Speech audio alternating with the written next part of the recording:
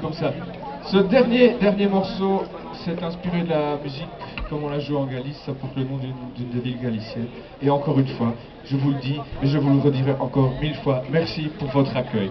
A bientôt